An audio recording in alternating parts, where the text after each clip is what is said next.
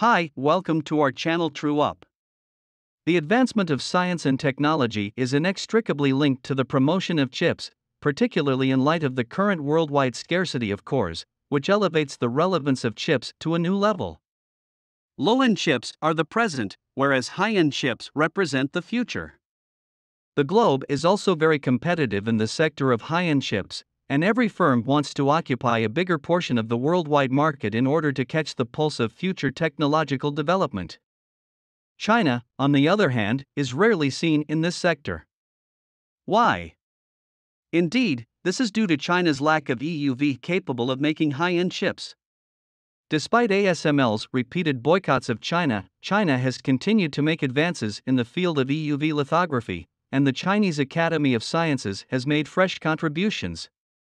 So, how essential will the EUV lithography equipment be to China once it is localized? What challenges and pitfalls will China encounter in establishing EUV localization, aside from key technologies?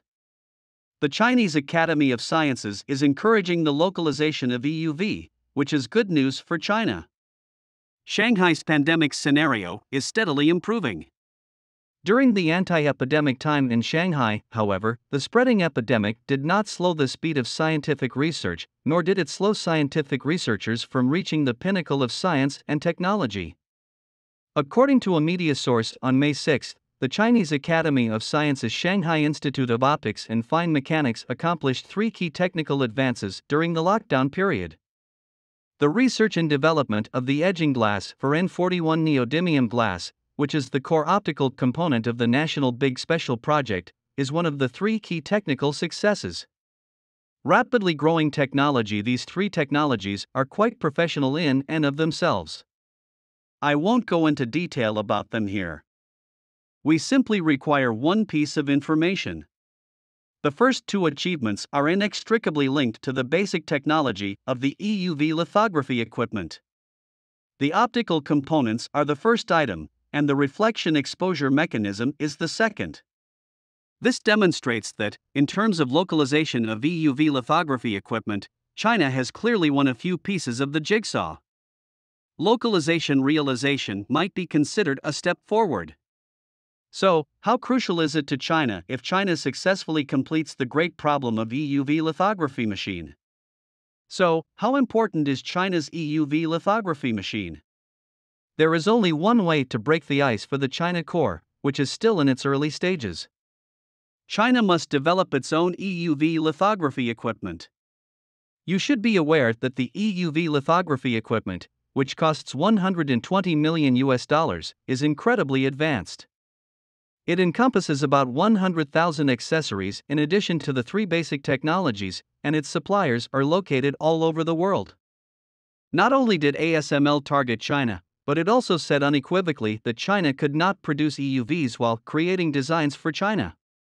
Even Chinese experts once thought that China's self developed EUV equipment had little hope.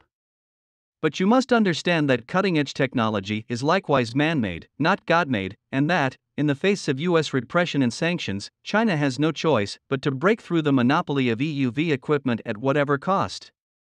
Given the relatively long research and development cycle of lithography equipment and the numerous technological constraints. As a result, I believe it is difficult for domestic lithography machine makers to offer SMIC with equipment support and help. Indeed, the backwardness of lithography machine technology is not limited to China. Even nations with more lithography machine manufacturing capability, such as Japan, South Korea, and the United States, lag behind in high end lithography machine research and development. Currently, the Dutch business ASML is the only company in the world that can make EUV lithography machines in the high end lithography machine market. The Global Semiconductor Association published a study on 2021 semiconductor sales on February 14. According to this research, worldwide semiconductor sales totaled 555.9 billion US dollars, with the Chinese consumer sector contributing 192.5 billion. Furthermore, according to the most recent national import and export customs figures from China this year, the import value and quantity of China's integrated circuits have increased year after year. As can be seen, China's demand for semiconductors is also quite robust. Once the more modern EUV lithography equipment is localized, it will likely reduce demand for Chinese chips, particularly high end processors.